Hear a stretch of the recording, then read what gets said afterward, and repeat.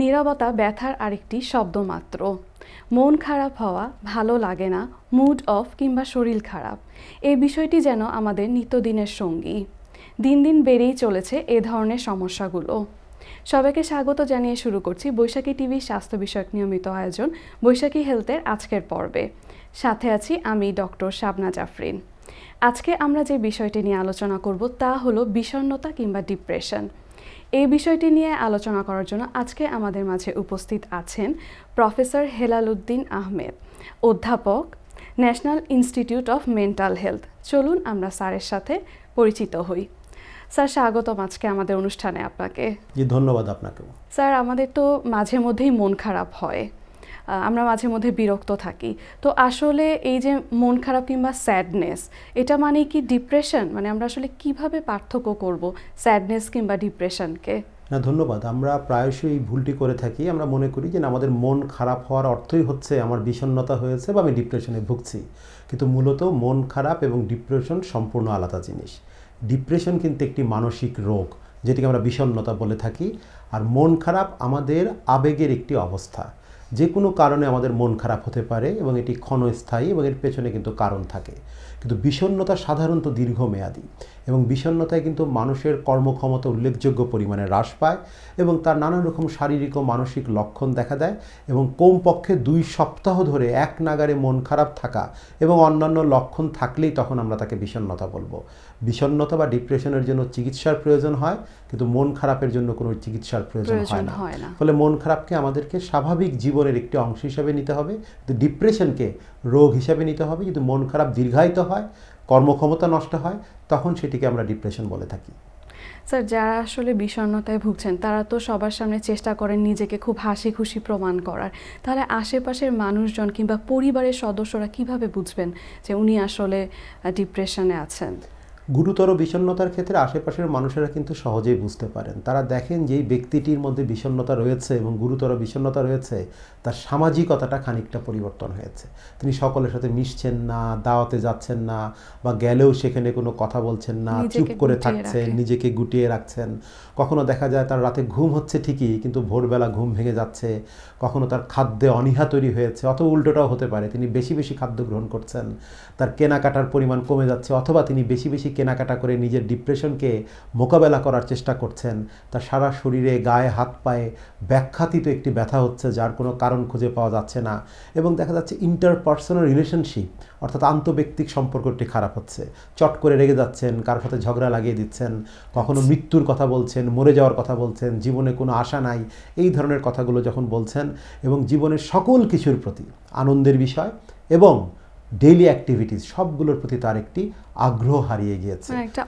অনীহা তৈরি হয়েছে। তখন আমরা মনে করব এটি যদি দুই সপ্তাহ বা তার বেশি সময় থাকে সেটি কিন্তু বিষণ্ণতা। সুতরাং আশেপাশের মানুষেরা সহজে এটিকে শনাক্ত করতে পারবেন। স্যার আমরা তো জানলাম যে একজন মানুষ ডিপ্রেশনে আছেন। তো আসলে উনি কি তখন সাথে সাথেই ডাক্তারের শরণাপন্ন হবেন? নাকি বাসায় থাকবেন কিংবা আমরা বলব যে বিষণ্ণতা কিন্তু একটি মানসিক রোগ। যদিও বিষণ্নতার তিনটি ক্যাটাগরি আছে যে গুরুতর মাঝারি ও মৃদু বিষণ্নতা সাধারণত মৃদু বিষণ্নতা সামাজিক সাপোর্ট বা সোশ্যাল সাপোর্টে এবং অ্যাসুরেন্সে কিন্তু ঠিক হয়ে যেতে পারে। সামাজিক কর্মকাণ্ড বাড়ালে সমাজের সাথে মিশলে সেটি ঠিক হতে পারে। কিন্তু মাঝারি এবং গুরুতর বিষণ্নতার ক্ষেত্রে, যেখানে কর্মক্ষমতা উল্লেখযোগ্য পরিমাণে হ্রাস পায়, ব্যক্তির মধ্যে মৃত্যু ইচ্ছা বা আত্মহত্যার প্রবণতা তৈরি হয়, তখন কিন্তু তাকে অবশ্যই চিকিৎসার প্রয়োজন হবে। আমরা বলব, তার উচিত হবে একজন মনোচিকিৎসকের কাছে যাওয়া এবং প্রয়োজনে তাকে কাউন্সিলিং গ্রহণ করা। এবং যদি আরও প্রয়োজন হয়, তবে তাকে অবশ্যই ওষুধও গ্রহণ করতে হতে পারে। যদি মনোচিকিৎসক পাওয়া না যায় কাউন্সিলর পাওয়া না যায়, তবে তার উচিত নিকটবর্তী যে কোনো একজন চিকিৎসকের কাছে, বিশেষত সরকারি হাসপাতালের কোনো চিকিৎসকের কাছে যদি তিনি যান, তার সমস্যাগুলো বলেন, তাহলে কিন্তু তিনি কিছুটা হলেও চিকিৎসা পাবেন এবং পরবর্তীতে রেফারেলের মাধ্যমে তিনি একজন মনোচিকিৎসকের সেবা পেতে পারেন। স্যার, এই যে আত্মহত্যার যে কথাটা আপনি বলেন, এটা থেকে আমি একটা একটু আসতে চাই। সেটা হচ্ছে স্যার ডিপ্রেশন তো আসলে এতটা বেড়ে গেছে যে এখন সুইসাইডের মতো কেস কিন্তু মানে খুব পাওয়া যাচ্ছে। তো আসলে এইটা থেকে বের হয়ে আসার উপায় কি? আসলে এটা থেকে বের হয়ে আসার চাইতে তিনটি উপায়ের কথা আমাদের মাথায় রাখতে হবে। প্রথমত, এটিকে প্রতিরোধ করার চেষ্টা করতে হবে। আত্মহত্যা কিন্তু প্রতিরোধযোগ্য। ফলে কারও যদি কোনো মানসিক সমস্যা থাকে, বিশেষ করে বিষণ্নতা ব্যক্তিত্বের সমস্যা, মাদক গ্রহণের সমস্যা সিজোফ্রেনিয়া এমনকি বাইপোলার মুড ডিসঅর্ডার তাদেরকে কিন্তু দ্রুত শনাক্ত করে চিকিৎসার আওতায় নিয়ে আসতে হবে। তাহলে এই যে আত্মহত্যার কথাটি বললেন, সেটি বহুলাংশেই কিন্তু এড়ানো যাবে। এটি হচ্ছে প্রথম আমাদের যেটি একটি একটি একটি প্রতিরোধের উপায়। দ্বিতীয় প্রতিরোধের উপায় হচ্ছে কারও ভেতরে যদি আত্মহত্যার প্রবণতা দেখা দেয় যদি তিনি মৃত্যু ইচ্ছার কথা বলছেন মরে যাওয়ার কথা বলছেন তার সামাজিক যোগাযোগ মাধ্যমে তিনি বলছেন তিনি বেঁচে থাকতে চান না তিনি নিজেকে গুটিয়ে ফেলেছেন কখন আত্মহত্যার চেষ্টা করেছেন হ্যাঁ চেষ্টা করে ব্যর্থ হয়েছেন এই বিশেষ ব্যক্তিদের প্রতি আমাদের বিশেষ সহায়তার প্রয়োজন হবে, সামাজিক সহায়তার প্রয়োজন হবে, চিকিৎসার প্রয়োজন হবে, অধিকতর মনোযোগ দেওয়ার প্রয়োজন হবে। আর তৃতীয় আরেকটি বিষয় হচ্ছে যার মানসিক রোগ হয় নাই বা আত্মহত্যার কোনো প্রবণতাও নাই, সেই সকল ব্যক্তিকে আমাদের কিন্তু মানসিক স্বাস্থ্য সেবা যেটিকে আমরা বলি অর্থাৎ মনের যত্ন সেটি নিতে হবে। তার কোনো মানসিক রোগ হয় নাই। আমাদের দাঁতের সমস্যা হয়নি তাও কিন্তু আমরা প্রতিদিন দাঁত ব্রাশ করি। এর অর্থ হচ্ছে মানসিক রোগ হওয়ার আগেই মানুষ মনের যত্ন নেয়ার মধ্য দিয়ে তিনি তার মনের স্বাস্থ্যের যত্ন নেন মানসিক স্বাস্থ্যের যত্ন নেন। এই মানসিক স্বাস্থ্যের যত্ন নেওয়ার মধ্য দিয়েই কিন্তু সার্বিকভাবে সকলের বিষণ্নতাকে এবং সেই বিষণ্নতাকে প্রতিরোধ করার মধ্য দিয়ে মানসিক রোগকে প্রতিরোধ করার মধ্য দিয়ে আমরা আত্মহত্যাকেও প্রতিরোধ করতে সক্ষম হব। এই বিষণ্নতা কতখানি প্রভাব ফেলে আমাদের সমাজের উপর? নিশ্চয়ই পরিবারের উপর তো অবশ্যই প্রভাব ফেলে। তো আমাদের আসলে সমাজ পরিবার কতখানি এরকম প্রভাব ফেলছে বলে আপনার মনে হয়? বিশ্ব স্বাস্থ্য সংস্থার একটি অনুমিত গবেষণা অনুযায়ী দু সালে পৃথিবীতে যেই রোগটি সবচাইতে বেশি ডিজিজ বার্ডেন তৈরি করবে অর্থাৎ এক ধরনের সোশ্যাল বার্ডেন বা ফিনান্সিয়াল বার্ডেন তৈরি করবে সেই রোগটির নাম হচ্ছে বিষণ্নতা তার মানে দু সালে পৃথিবীতে বিষণ্নতার রোগের কারণেই আমাদের অর্থনৈতিক প্রবৃদ্ধি, আমাদের উৎপাদনশীলতা হ্রাস পাবে। তার মানে সামাজিক এবং রাষ্ট্রীয়ভাবে বিষণ্নতা কিন্তু অত্যন্ত গুরুত্বপূর্ণ একটি রোগ এবং পরিবারের ভেতরে আন্তব্যক্তিক সম্পর্কগুলো নষ্ট হবে। পারস্পরিক সম্পর্কের জায়গাটা যখন ব্যাহত হবে, তখন কিন্তু পরিবারে ভাঙন তৈরি হবে এবং পরস্পরের মধ্যে একটা বোঝাপড়াটা নষ্ট হবে। তখন কিন্তু মানুষের মধ্যে আত্মহত্যার প্রবণতা তৈরি হবে।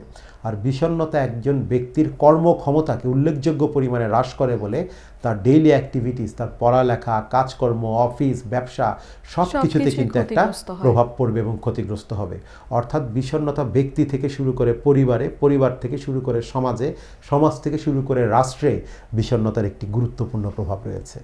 স্যার বাংলাদেশে কি আমাদের বিষণ্নতার চিকিৎসা হয়? বাংলাদেশে বিষণ্নতা নয় শুধু, সকল মানসিক রোগের চিকিৎসাই হয়ে থাকে এবং বাংলাদেশে দুই হাজার সালে আমরা একটি জাতীয় পর্যায়ের জরিপ করেছিলাম এবং সেই জরিপে আমরা দেখতে পাই প্রাপ্তবয়স্ক মানুষদের মধ্যে প্রায় সাত শতাংশ মানুষ মানে প্রতি একশো জনের সাতজনের কোনো না কোনো বিষণ্নতা রয়েছে। মৃদু মাঝারি অথবা গুরুতর ধরনের বিষণ্নতা পাওয়া যায়। একশো জনে সাতজন মানুষের। আর প্রতি একশো জনে আঠারো জনের কোনো না কোনো মানসিক রোগ রয়েছে। তার মধ্যে বিষণ্নতাই সবচেয়ে বেশি। বাংলাদেশে চিকিৎসা রয়েছে এবং এর জন্য জাতীয় মানসিক স্বাস্থ্য ইনস্টিটিউট রয়েছে ঢাকায়। আমাদের প্রত্যেকটি মেডিকেল কলেজে মানসিক রোগ বিভাগ রয়েছে আমাদের পাবনায় মানসিক রোগ হাসপাতাল রয়েছে বঙ্গবন্ধু শেখ মুজিব মেডিকেল বিশ্ববিদ্যালয় রোগের চিকিৎসা করা হয় মানসিক রোগ বিভাগে বেসরকারি মেডিকেল কলেজেও এই বিভাগ রয়েছে পাশাপাশি আমাদের বিশ্ববিদ্যালয়গুলোতে কিন্তু কাউন্সিলিং এবং সাইকোথেরাপির ব্যবস্থা রয়েছে। তার মানে বাংলাদেশে মোটামুটি ভালো চিকিৎসা রয়েছে। বাংলাদেশে ভালো চিকিৎসা রয়েছে এবং বিষণ্ণতার যে ওষুধগুলো পৃথিবীতে ব্যবহৃত হয় তার সবগুলো ওষুধই বাংলাদেশে সহজলভ্য। স্যার, বিষণ্ণতায় যারা ভুগছেন, তারা তো আসলে কোনো কাজে মনোনিবেশ করতে পারছে না। তো আসলে পরিবারের উদ্দেশ্যে আপনার যদি কোনো পরামর্শ থাকে।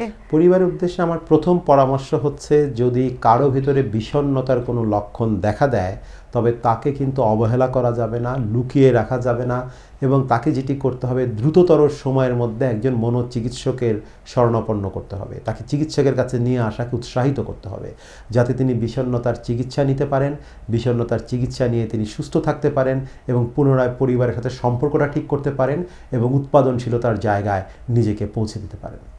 স্যার আপনাকে অনেক ধন্যবাদ। আপনি আপনার এত মূল্যবান সময় থেকে আমাদেরকে সময় দিয়েছেন। আপনাকেও ধন্যবাদ। সুস্বাস্থ্য ও সুস্থতার জন্য একটি ভালো মানসিক স্বাস্থ্য অত্যন্ত গুরুত্বপূর্ণ। আর তার থেকেও সবচেয়ে বেশি গুরুত্বপূর্ণ যারা এই ধরনের সমস্যায় ভুগছেন তাদের প্রতি আমাদের দৃষ্টিভঙ্গি বদলাতে হবে। সবাইকে আগামী পর্ব দেখার আমন্ত্রণ জানিয়ে আজকের মতো বিদায় নিচ্ছি। সবাই ভালো থাকবেন, সুস্থ থাকবেন এবং বৈশাখী টিভি সঙ্গেই থাকবেন। আল্লাহ হাফেজ।